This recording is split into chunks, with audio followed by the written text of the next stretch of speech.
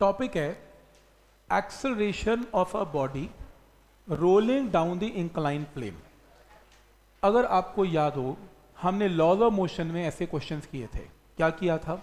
मैं आपसे ये पूछा करता था कि अगर आपके पास कोई इंक्लाइन प्लेन है और इंक्लाइन प्लेन का एंगल थीटा है, कोई फ्रिक्शन नहीं है तो कितनी फोर्स बॉडी को नीचे लेके आएगी? आप बोलते थे एम जी साइन थीटा कितनी एक्सलेशन बॉडी को नीचे लेके आएगी? जी साइन थीटा इस केस में बॉडी क्या करती थी? सिर्फ़ स्लाइड बस। अब बॉडी क्या कर रही है?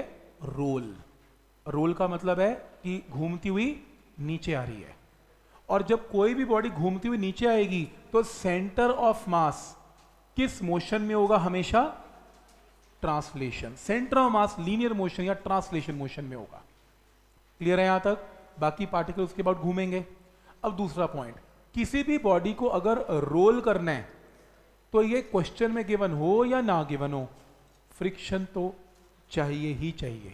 बिना फ्रिक्शन के बॉडी रोल नहीं करेगी। आप एक स्फेयर को ऊपर ले जाओ इंक्लाइन प्लेन की ओर छोड़ दो, और नीचे फ्रिक्शन नहीं है, वो स्लाइड करता हुआ नीचे आएगा रोल करता हुआ नीचे नहीं आएगा रोल तभी करेगा जब क्या प्रेजेंट है? फ्रिक्शन क्या ये पॉइंट क्लियर है?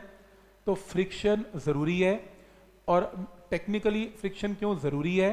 इसका मैथमेटिकल आंसर मैं अभी आपको देता हूँ। किसी भी बॉडी को रोटेट करने के लिए क्या चाहिए? टॉर्क टॉर्क चाहिए।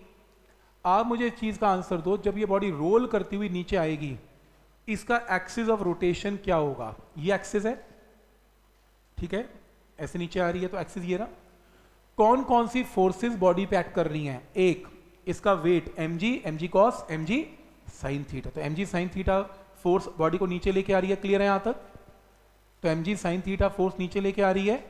एम जी साइन थीटा खुद एक्सिस पे एक्ट कर रही है तो क्या ये टॉर्क जनरेट कर सकती है? नहीं कर सकती। क्यों? ये खुद एक्सिस पे काम कर रही है तो कोई टॉर्क जनरेट नहीं करेगी। तो और कौन सी फोर्सेस हैं? नॉर्मल रिएक्शन अरे वो तो खुद एक्सिस पे काम कर रही है, ये भी टॉर्क जनरेट नहीं कर सकती। तो ना नॉर्मल रिएक्शन टॉर्क जनरेट करेगा, ना एम जी साइन थीटा करेगा, ना एम जी कॉस थीटा करेगा, ना एम जी करेगा, क्योंकि सारी फोर्सेस कहाँ लग रही है? ऑन दी एक्सेस तो ये बॉडी को घुमा नहीं सकती ट्रांसलेट करवा सकती हैं, नीचे लेके आ सकती हैं। तो क्या बचा? फ्रिक्शन अब फ्रिक्शन कैसे काम करेगी? ये देखो। ये मान लो बॉडी है इंक्लाइन पे में रख दी। मान लो पहले फ्रिक्शन नहीं है इंक्लाइन पे फ्रिक्शन नहीं है। बॉडी कैसे आएगी? स्लाइड करती नीचे आएगी, मानते हो?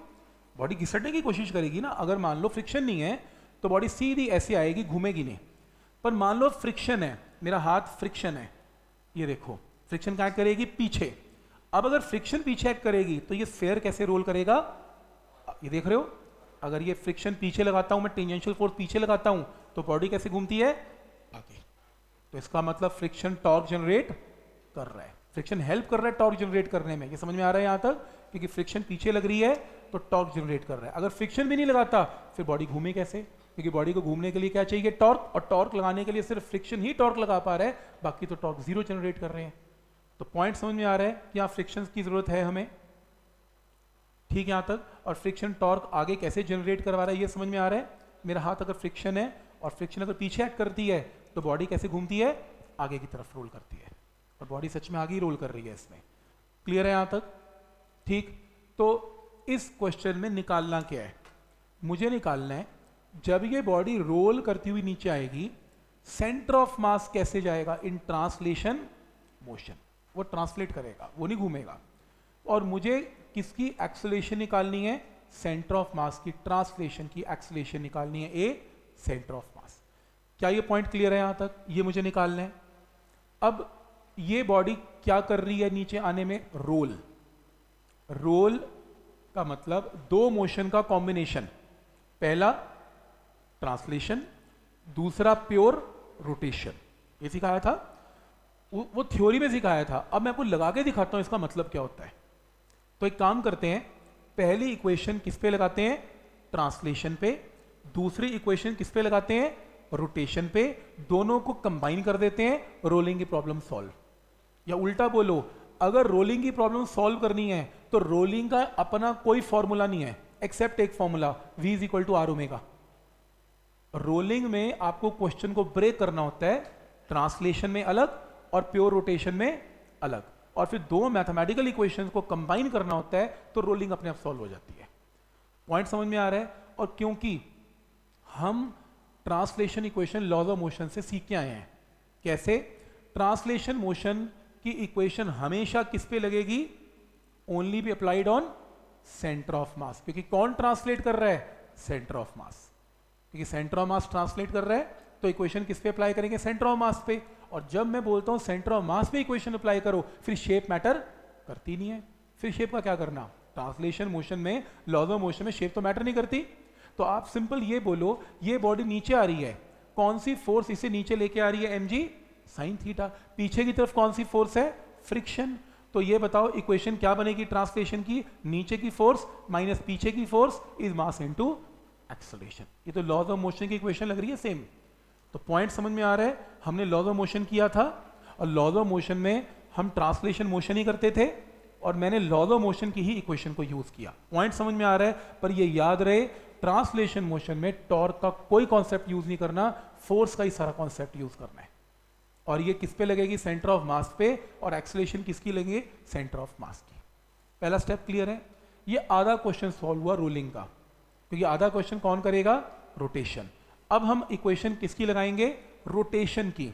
जब मैं बात करता हूँ रोटेशन की बॉडी के घूमने की, जब बॉडी घूमती है तो उसमें क्या जनरेट होता है? टॉर्क रोटेशनल मोशन किसमें काम करता है? टॉर्क में।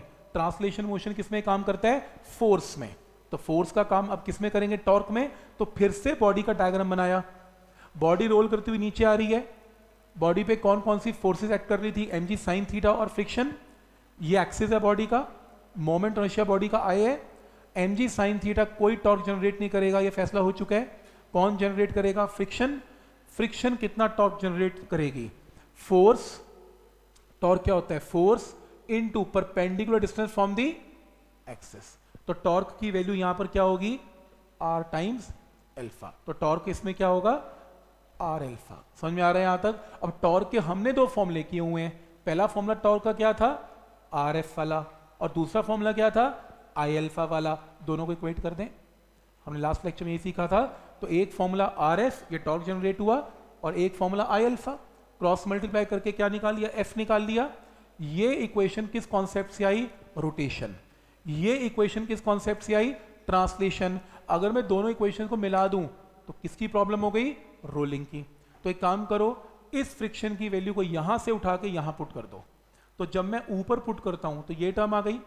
अब सेंटर ऑफ़ मास की जो एक्सलरेशन है, या जो सेंटर ऑफ़ मास है, जब आपने एक स्फेयर को ऊपर छोड़ दिया था सेंटर ऑफ़ मास अपनी स्पीड बढ़ाएगा बढ़ाएगा बढ़ाएगा, यानी कि एक्सलरेट करेगा। और मुझे वही तो निकालना है एक्सलेशन सेंटर ऑफ़ मास तो ऑब्वियसली घूमने की स्पीड भी तो बढ़ेगी बढ़ेगी बढ़ेगी।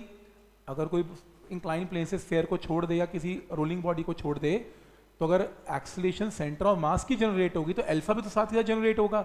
और अभी अभी हमने देखा था, वो क्या? Acceleration of centre of mass is always equal to R alpha तो एल्फा की जगह क्या पुट कर सकते हैं? A centre of mass by R तो इसकी जगह क्या पुट करेंगे? A centre of mass by R R R R square हो जाएगा।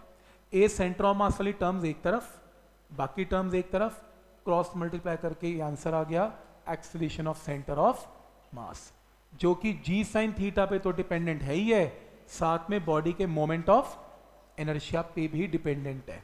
और यहाँ तक नहीं है, ये एक और स्टेप है। किसी भी बॉडी के लिए आई का फॉर्मूला क्या लिख सकते हैं? गायरेशन की फॉर्म में एम के स्क्वायर तो आई की जगह पुट कर दो M K square M M M cancel ये फॉर्मूला तो याद कर लो acceleration of centre of mass का। अगर पेपर में आएगा प्रूव करना है। Acceleration of centre of mass rolling body में इंक्लाइन प्लेन पे क्या होती है? G sine theta upon one plus K square by R square तो रूल क्या है? पहला रूल पहली क्वेश्चन ट्रांसलेशन मोशन की। प्रॉब्लम किसकी है? रोलिंग की। रोलिंग के क्वेश्चन को ब्रेक करना है। Translation and rotation translation force का कॉन्सेप्ट रोटेशन टॉर्क का कॉन्सेप्ट दोनों की कॉमन वैल्यू को जोड़, मिला दिया। एक की वैल्यू दूसरे में पुट कर दी। आंसर आ गया। तो ये एक्सलेशन ऑफ़ क्या आ गया? सेंटर ऑफ़ मास आपके पेपर में आएगा derive an expression for acceleration of centre of mass for sphere या हो सकता है किसी के पेपर में आ जाए derive an expression for acceleration of centre of mass for disc for ring for cylinder आपने जब ये पेपर में आएगा, यहाँ तक तो करना ही करना है। फिर स्पेशल केस लिख देना है।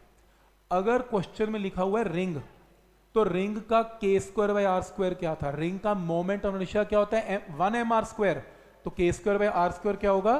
वन तो यहाँ पर वन पुट करेंगे आंसर अगर आता है डिस्क तो डिस्क का फॉर्मूला क्या था? आई का हाफ़ एम आर स्क्वायर तो K square by R square की जगह क्या आएँगे? आएगा हाफ़ हाफ़ पुट कर देना.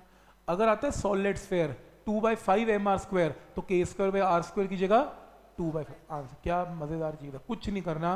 के स्क्वायर आर स्क्वायर चेंज करते रहो आंसर चेंज होते रहेंगे. अब समझ में आया फ़ायदा?